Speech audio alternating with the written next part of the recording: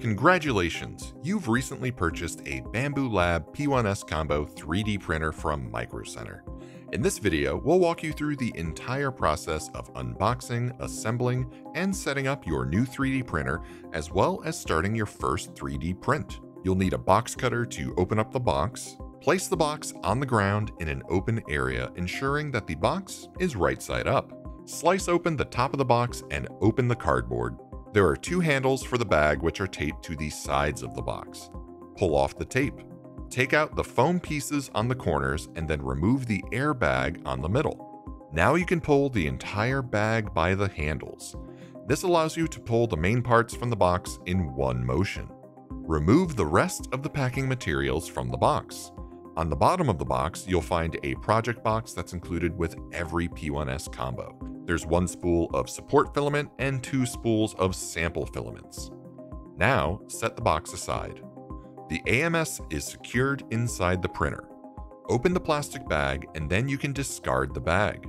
All parts are now unboxed and ready to unlock and assemble. The manual will be sitting on the top of the printer. Familiarize yourself with the steps of the build process. Carefully remove the plastic tape around the top panel. Flip the top panel upside down and remove the plastic wrapper on the panel. You can now set the top panel aside for now. Remove the plastic tape around the front panel. Open the front panel and carefully remove the plastic wrapper from the panel. Remove the cardboard box inside the printer. This is the parts box. This parts box will contain everything that you see here. We will review the contents of the parts box later. You will need the Allen key H2 tool in future steps. Make sure to take it out of the parts box. With everything set aside, remove the foam pieces sitting on the top. With the front door open, you'll find that the AMS is secured with these two screws with the orange indicators. Use the Allen key H2 tool to remove the two screws from this plastic piece. Gently remove the AMS through the top of the printer.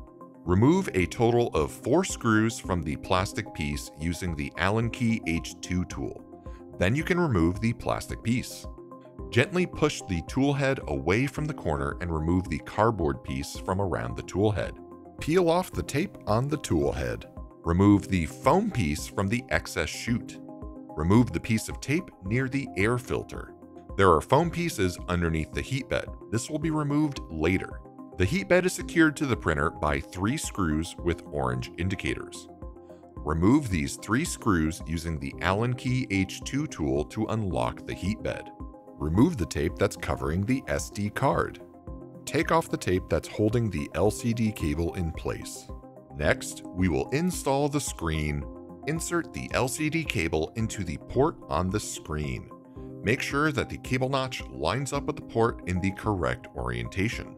The hook on the back of the screen should be pointing to the left. Gently bend the LCD cable towards the opening on the back of the screen. Insert the screen into the slot in the printer and then you lock it by pushing it to the left. You can now install the single spool holder if you have a regular P1S, or install the AMS if you have a P1S combo. To install the single spool holder, there is a label called Spool Holder Assembly Holes on the back of the printer. Remove one screw located on the right of that label using the Allen key H2 tool. Secure the spool holder using the two screws from the parts box. Once the spool holder is attached to the P1S, you can now place a spool on the spool holder and make sure that the lead of the spool is facing counterclockwise. Thread the filament manually through the filament inlet. Then, place the top panel back on the printer with the Bambu Lab logo facing the front. You are now ready to print with a single spool. If you have a P1S combo, we must first assemble the AMS. Peel off the plastic wrap around the AMS and then remove the tape on the back of the AMS. Open the AMS unit. There are spare PTFE tubes, which you can set aside. Remove the foam piece covering the filament inlets. Open the compartment holding the desiccant packs and remove the plastic bag of the desiccant and place it back into the compartment. This will help ensure that your filament is kept dry inside the AMS. Close the AMS and place it on top of the printer. On the back, insert the AMS PTFE tube into the filament buffer. plug the Bambu bus cable 4 pin into the filament buffer, and insert the other end with the right angle connector into the printer. Hook the middle section of the cable into the clip on the filament buffer. Connect the Bambu bus cable 6 pin into the filament buffer and the AMS. It can be plugged into either interface on the AMS. Plug the power cable into the port on the back of the printer and turn on the P1S using the power switch. Your P1S combo is all assembled and ready to set up.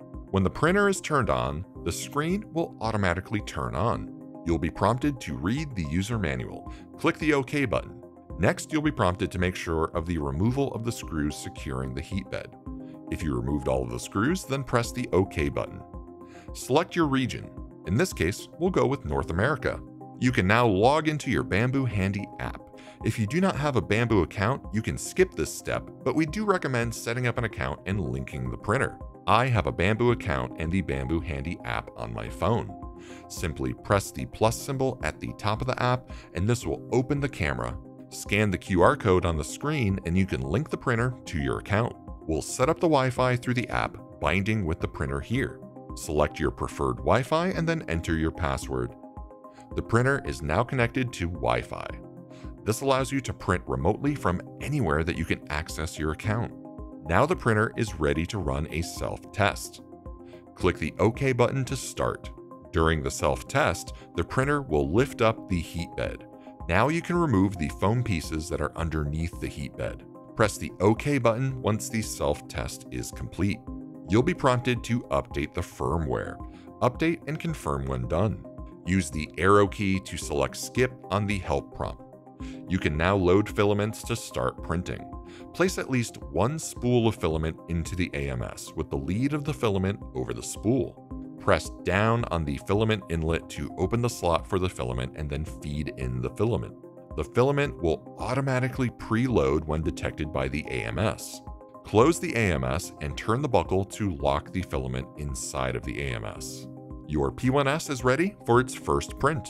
Each printer will come with some files already pre-installed. On the screen, scroll down to the folder icon and select a file to start the first print. For our first print, we will start with a Benchy. Select Benchy and press OK. Press Print and the printer will take the rest from here. The printer will begin its first print. A Benchy is a good first print to ensure that everything is working correctly. Once the print is done, you can analyze it and see if there are any settings that need adjustment. Congratulations, you're all set and ready to start printing with your Bambu Lab P1S combo. Be sure to stop by your local Micro Center if you have any questions, need any assistance with your printer, or if you want to pick up any additional filament or parts.